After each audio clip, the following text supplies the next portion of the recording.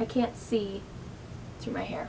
Also because my camera is not at eye level, I keep like bending down to talk to it even though it can see me. So I apologize if I look ridiculous during this entire video. Hello and welcome to my channel. I'm Mandi Grace. I am an author of a dystopian trilogy and a retelling of the Robin Hood legend. I love historical fiction, which is what I have done the most of, but now I am diving into mysteries and crime fiction, which should be fun. Today, um, I'm going to be talking about five reasons people should be doing NaNoWriMo this year, or any year, really. Before I give you reasons why you should do it, I'm going to explain briefly what it is, because why would you want to do something when you have no idea what it is even about?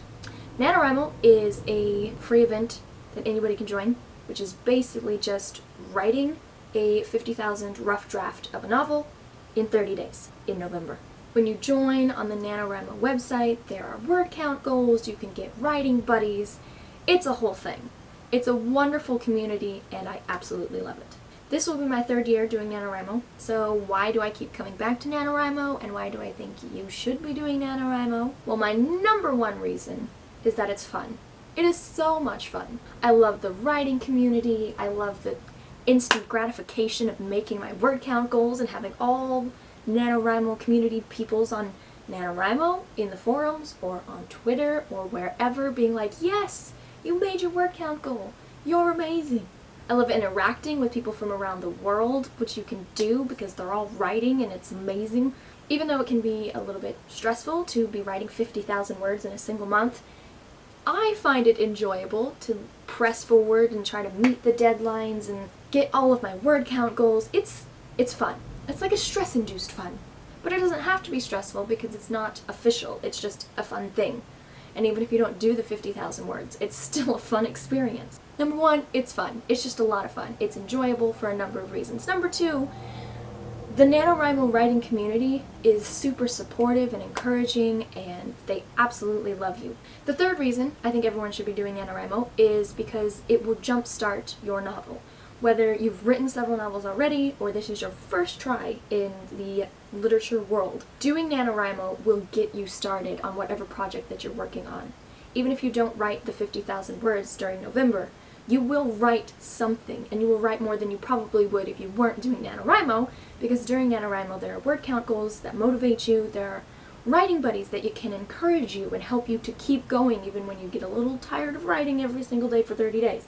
The community and the encouragement and the goals and the motivation and the writing sprints and the advice that just abounds during NaNoWriMo. All of that culminated will get you to start on your novel and get words flowing. So NaNoWriMo will definitely jumpstart whatever project you're doing, so you should do it.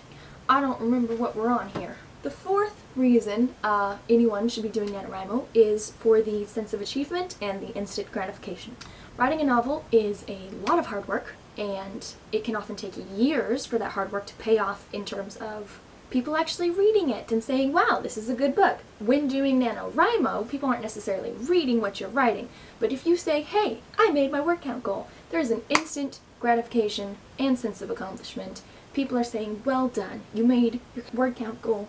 Congratulations! And when you hit your word count goals, whether you make the full 50,000 at the end of the month or not, every word count goal you hit, it's just like a gold star that you get to put on your shoulder and be like, I did that. The fifth reason that everyone should be doing NaNoWriMo is that it will form writing habits. Whether or not you write every day already, or if you want to be writing every day, everyone has a different schedule. If you do NaNoWriMo and are forced to write every day for a month, even after November, if you choose to write three days a week, you will have the practice and the habit formed of sitting down and writing even when you don't necessarily want to, or if it's hard, or whatever. Doing NaNoWriMo will get you started on forming a writing habit that you can carry with you to finish writing your novel or finish writing the next novel after that, or whatever. Also, just a side note, this is like the sixth reason, but I'm not numbering it because I just wanted to have five reasons. Anyway, the bonus reason you should be doing NaNoWriMo. Even if you don't participate, this will apply to you. During the NaNoWriMo season, both in October, during Preptober, and in the month of November when NaNoWriMo is happening, the advice from seasoned authors abounds Whether they're doing NaNoWriMo themselves or have done it in the past, during the NaNoWriMo season, there will be a million new videos on YouTube saying, here's how you outline, here's how you write a crime novel, here's how you create character profiles. The advice from people who know what they're doing because they've done it before successfully multiplies during the NaNoWriMo season because NaNoWriMo is amazing and it brings out the best of us. So there you go. There's a few reasons you should be doing NaNoWriMo. So I expect you all to sign up immediately. There will be a link in the description to the NaNoWriMo website, also to my website and my social media and all of that. And on that note, happy writing everybody! Ugh, the camera's too far away from my hand. Uh...